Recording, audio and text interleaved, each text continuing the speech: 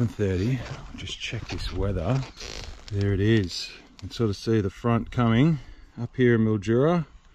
That's us in that dot. And this stuff here, see all this down the bottom here? That's all the cold air mass that's going to bring the snow. So it's in a good position. It's good for us today. That way we can do a little bit of riding. But yeah, as I said yesterday, got to get to camp and set up. Wood's going to be super wet, so I need to get that fire going nice and early. Got to get my fire skills on point for this one. Waiting for that storm. It's coming. See all this cloud cover rolling in. The wind's died off a bit, which is nice. It knocked out that wind chill because with it at four degrees with the wind chill makes it pretty chilly. So we'll pack up camp and then we'll get moving. Just keeping an eye on these clouds and this weather. It's time to get out of here.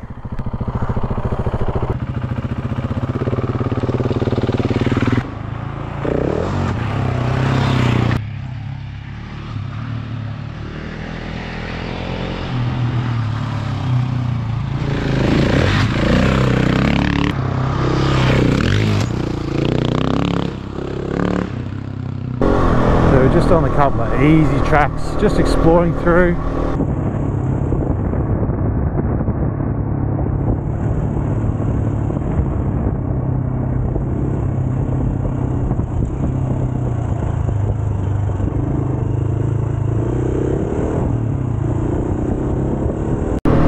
One thing uh, I got to keep an eye on with the 701 is just the maintenance. The best bit of advice that was given to me around this bike is treat it like a dirt bike. Mate do the maintenance like a dirt bike.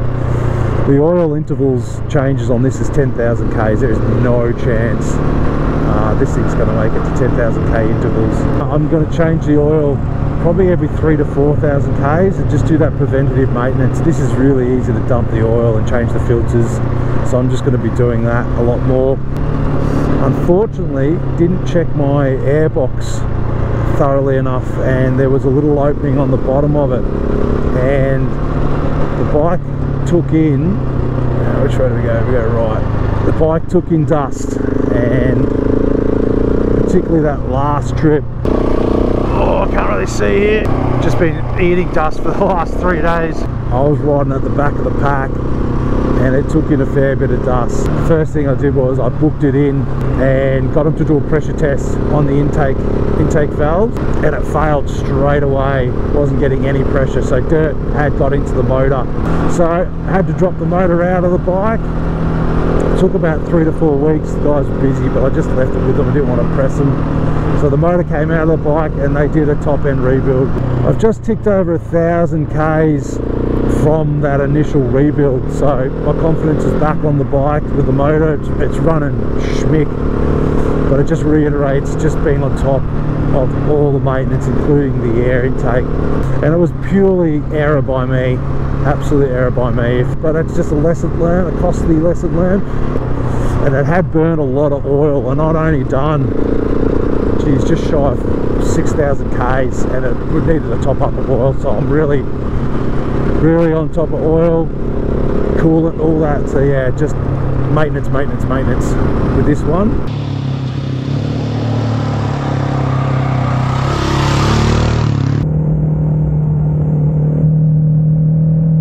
We're almost to Buxton. This is a great view here of uh, where we're going up. There's the cathedral ranges. So this is the range that we're going into. You just sort of see Mount Margaret, where we're going to go, sort of tucked in up the back here where those sort of dead trees are. That's where we're going to camp. So that sits up around 1100 metres, but this is a beautiful, beautiful side of the range here, the Cathedral Ranges. Good hiking in there. It'll be fun down that track. Greasy! Quickly check this weather. Still got a little way off, which is good. We've got a couple of hours maybe.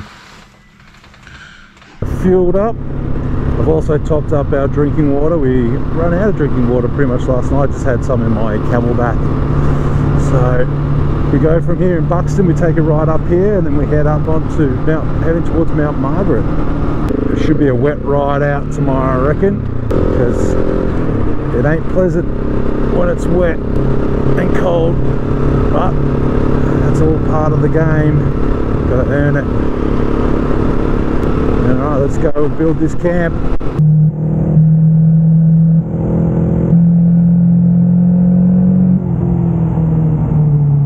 Oh, look at all this dry timber here actually. Look at this. Might come back down here a little bit later. Look at all this dry stuff. Oh, that's exactly what we need to get the fire started. Perfect. We're not far down up this track. This is Mount Margaret track.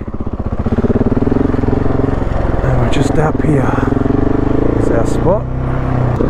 And you can sort of see why I came and checked this track last week because of this.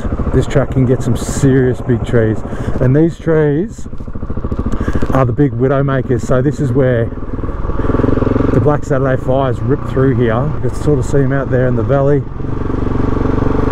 We're well and truly away from those. This spot it's got some good shelter and it's also doesn't have any of those big widow makers hanging over at the ghost gums. And there she is, this is us. As you can see by it, it's beautifully sheltered all the way around by these trees, which is going to help us in the wind. Yeah, it doesn't look like anyone's camped here. I sort of put all the rubbish in the fire pit because when I came up last week you can just see it's just it's a bit grotty but it serves its purpose so there's the wood I chopped up last week there's plenty of little stuff lying around but I think I might go back to that pile and just load up on the dry stuff strap it to the back of the bike I know I've got plenty of it so all right let's get set up it looks like a bit of a breeze comes through this way but I think I'm going to go tree to tree set it up in this sort of spot here. I'm going to use this tree.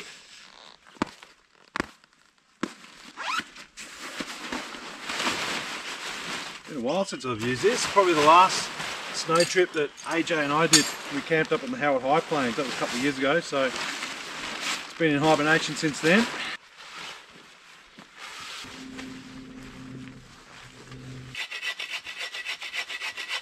So good height. And as I pull these down, this will tighten up. So got a couple of nice little hanging points on there, hang jacket, hang the water. I'm quite comfortable with the height and that angle is going to help the snow hopefully fall off. Got it up pretty quick, I'm really happy with it, nice and tight. I'll take you through the inside. This is it, storm shelter's up, so if it starts raining, we're ready to go. Dead land here, crummy ground, so that's where the bike will go.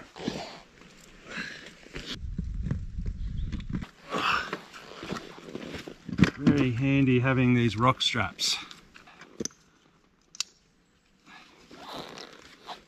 Alright, that should be enough to at least get it going. Right, let's get back to camp.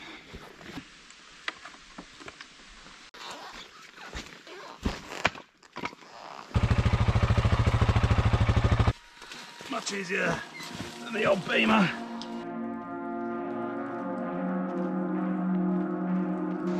The stash. There it is.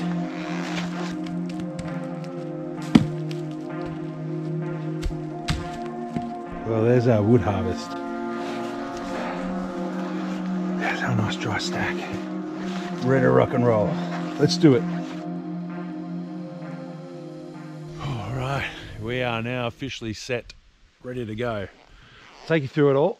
So this is the area. You can see it's nice and sheltered, but this breeze is starting to kick through rain's not far away getting a nice little sunset which is actually quite nice so rain's just hitting the city now there's the uh, Hilleberg ready to rock and roll sitting outside as long as I can before I have to go onto the uh, refuge shelter a nice little walkway through here I've got the bike tucked under which is good so it doesn't get in uh, any of the weather got plenty of space in here which is good Got the center pole, got all my things hanging off there, which is good. Got the water bladder, got plenty of water, got some food there. And then this is all the wood we got. So that top stuff there, that's all the wood that we cut up last week. It's pretty damp on the outside. I've just started putting some uh, pieces on, but definitely that drier stuff that I went and collected out in the road's doing really, really well. And here's the fire pit. I'm pretty happy with it. And the wind is blowing the smoke the right direction, but that could all change when this front hits because it's supposed to be more of a northerly. So, but the wind going that way is not too bad. You can hear the wind. It's about three degrees already, so starting to rug up, put more layers on. As you can see, I'm definitely to have to start wearing gloves. Hands are getting cold. But yeah, well this is it, ready to go. See how it holds up. Fingers crossed, all good.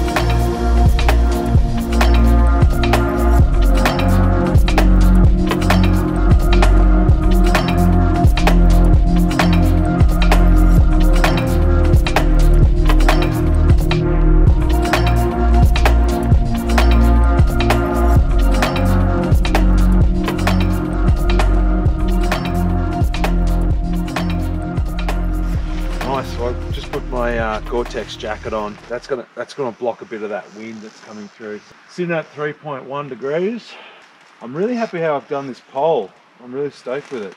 It looks good, uh, but time will tell if it, it uh, if it does the job. Rain's rain's coming. Rain's coming. So just how much we get.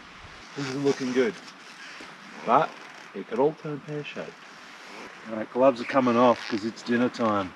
All right, this fire, I'm very impressed with. Very impressed with, and I wasn't sure about the wood, but then I keep thinking, I'm like, of course it's going to be dry, because the summers up here are really, really hot. I'm really, really happy with this fire setup. I've been watching a lot of uh, Alone, particularly the North American series, and season 10's on at the moment, and yeah, my fire skills has def definitely improved because I've been watching that show. Right, dinner. Japanese curry. Just got to cut everything up, chop it in this pot. So what have we got? We've got the curry, twiggy sticks. Donny's good. These are great. I like to fry them up like bacon. Got the spuds, carrot. That's it. Then you add the curry. These are worth gold. Do not lose them. Let's get them going. Oh yeah, now. Look at that. Smells like I'm cooking up bacon. Look at them. Nice, nice and fried up. Spuds. Yeah, see how wet the ground is. That's why I bring this. I'm knee kneeling down and cooking on the fire. Got this on uh, Amazon, I think, for like 10 bucks. Great, you can put on your seat. It's perfect for the ground when you put your knee down.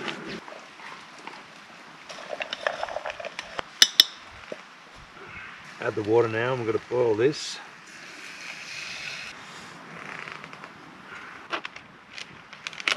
Looks like a bar of chocolate. Look at that. Put these bits in. Look at that. There it is. Nice and easy curry. Dinner is sealed. It just takes me back to Japan every single time. Mm -mm. There you go. They're big flakes.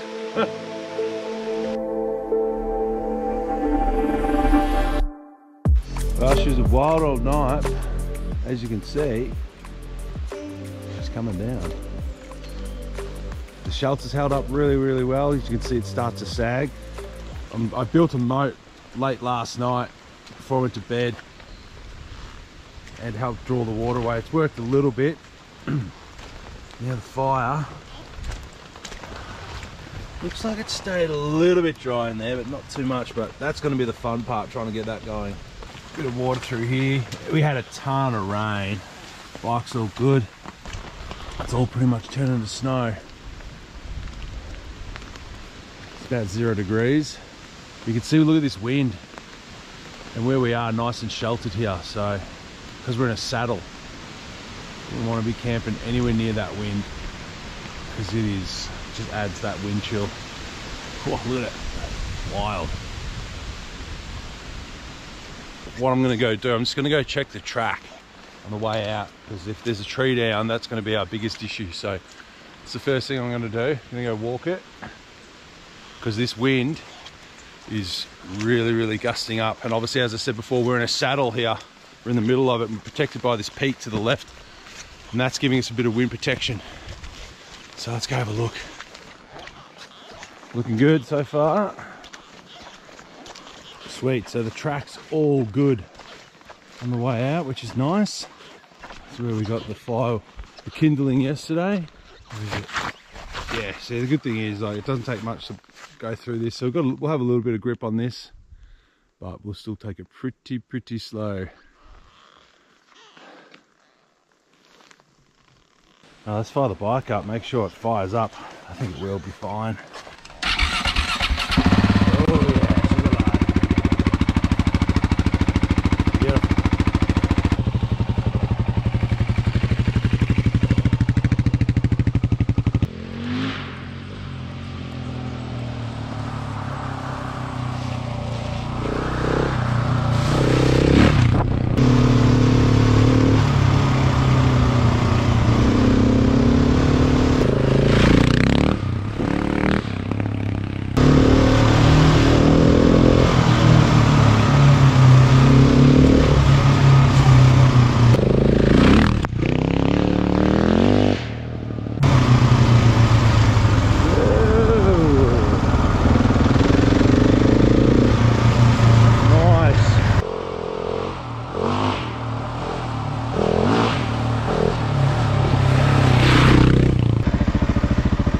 is pretty much as high as we can go.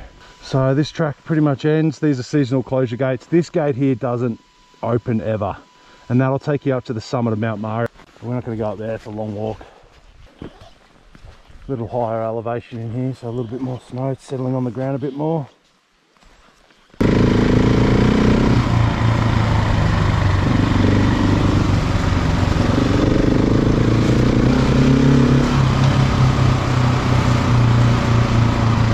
wasn't too bad up there. I'm glad I went. It's uh, it's disappearing quick. All right, time to start packing up. Got the fire all sorted, that's all cleaned up. Fun part, the tent. tent and the shelter. They're fun. All right, folks, might sign it off there. Hope you enjoyed the trip. We are getting out of here. Pack this up, load on the bike, and we're heading straight down. Thanks for tuning in the channel. Be sure to check out the rest of the content on the channel.